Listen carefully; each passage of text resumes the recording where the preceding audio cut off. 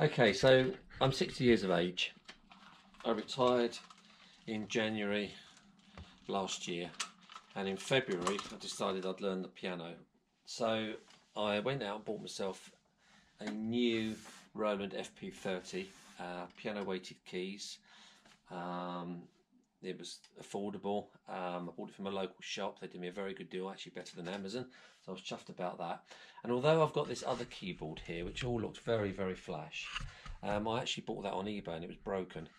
And uh, I just decided to fix it, and uh, which I've done. And the reason I bought it is because I just, after a little while of playing the piano, you end up getting a little bit bored with the same sounds. Although this FP30 has got quite a few different instruments to it, um, this Roland Juno, D has an awful lot more. So you learn certain songs, and occasionally it's just nice to um, try it and hear it in a, in a, different sound. So that's kind of just a fun thing, really. I just I didn't spend a lot of money on it. It was it was broken anyway. I managed to fix it, and it just gives me a little bit more something else to play with. I'm actually kind of a little bit of a techno kind of person, so I just like having all these toys around me, even though I can't play them. As I say, all the gear and no idea. Anyway, I the route I decided to go, um, rather than go straight out and have piano lessons, is I actually went onto the internet and there's a, I decided to go with something called Simply Piano, and I found this to be actually very very useful. So it connects to an iPad. The iPad is then connected to my um, keyboard. And what happens is, as you go through the instruction, it you then have say various tests. They'll give you a piece of music that you've been practicing, and then you play it, and it marks you um, out of three stars. So it'll give you a mark for how many notes you got right in the piece.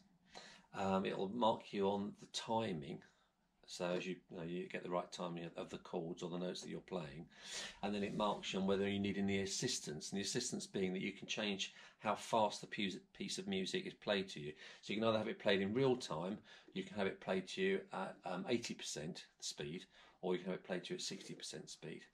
So, um, and I, I, must admit, I find that really encouraging. Now, what happens is as you go through the basics of that, it then um, splits into two. So you can either go playing more the notes route through music, or you can go through learning the chords route through music. And what I decided to do, rightly or wrongly, I decided to go the chords route through. So what happens is there is you're actually playing the accompaniment to a piece of music rather than actually playing um, an outright piece of music. So in other words, they'll play a song on here and they're quite well known songs, could be something by Ed Sheeran or someone like that. And as the music's playing, you will play your chords, the accompaniment, and it's it's enjoyable. You know, it's enjoy. It's actually quite interesting how quickly you can start to learn some chords. Um, and I'll show you in a while what I've learned so far. What I've learned so far.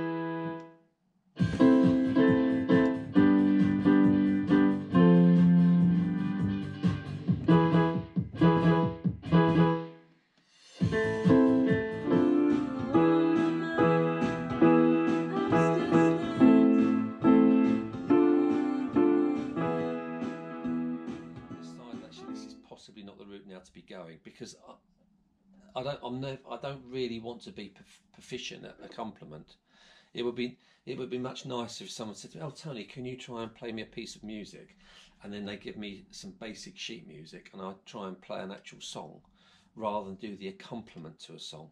I think the accompaniment would be alright if I was proficient in singing. So if I had the notes here, the words here rather, and I was singing the song, and then playing the accompaniment to that, the whole the whole performance would sound quite quite good. But because I, I can't sing, um, then I think I'm going to go the notes route. But bearing in mind, even going the notes route, you're still going to be playing notes and a chord possibly in your left hand. Um, so that's what I've done. So I've, what I've done now, I've, I've kind of paused where I am with, with the chords. I've now got now gone back to learning notes.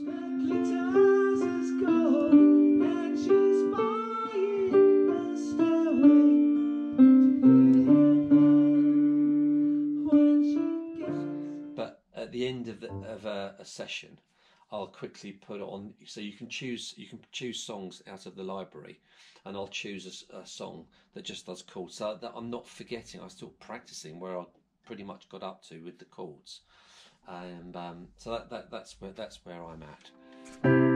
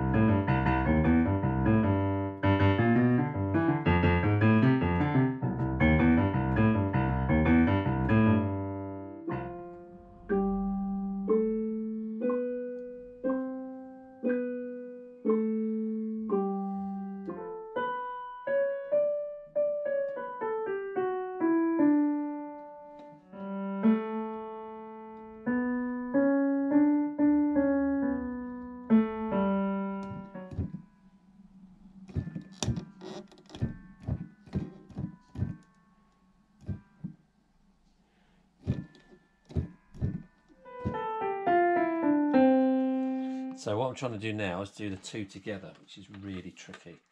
So it's going to be quite slow.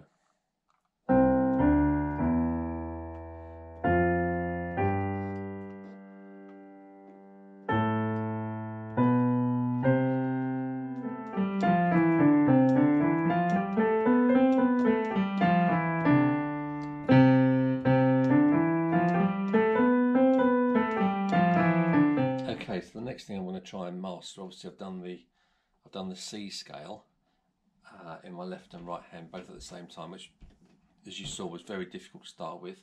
But within about three, four days, I feel like I've kind of got the hang of that now, starting from here.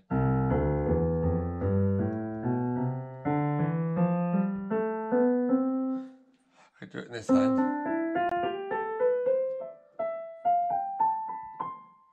So as you can see, you do three, thumb under, then I've got to do four, and then three, and then five. So that's going to be the tricky bit. So I'll just show you.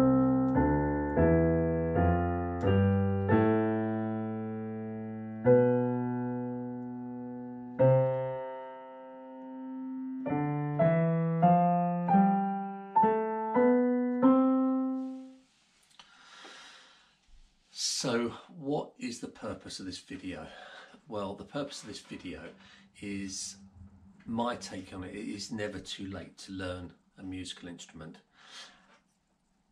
People often refer back to the fact, oh yes, but it's so much easier when you're younger.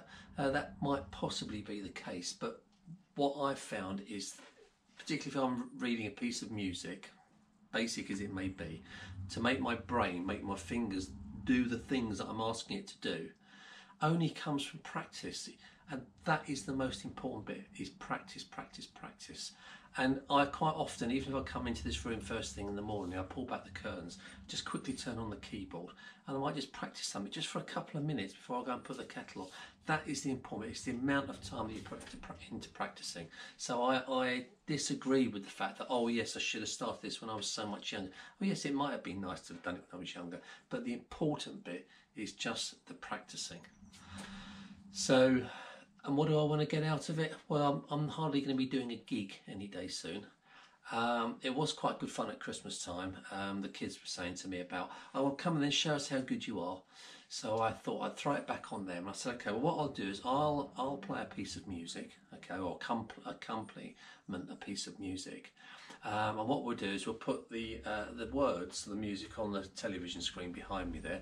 You lot can all sing along, and I'll just play the music."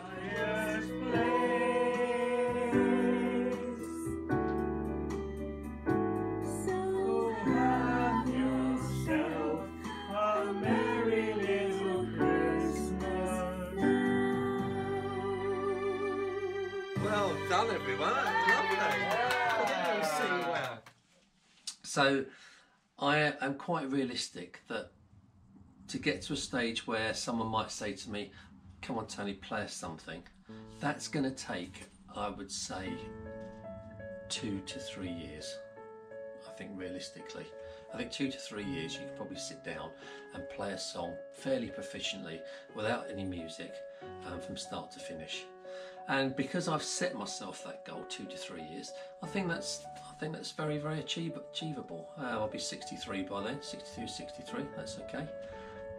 So yeah, my my the whole point of this very quick video is just to inspire people, particularly older people out there like myself who've retired.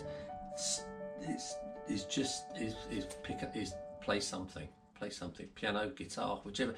Youtube is absolutely amazing. It's, there's so many things people on there that do the most amazing um, videos and inspire you. I mean one particular one i'm really very fond of is one called pianote.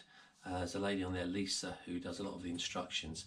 I mean not only is she very good at, at, at teaching how to do various things she's got a lovely voice too so it's, it's really lovely to watch. Um, so yeah please please please um, give it a try. But be patient. Please, please be very, very patient.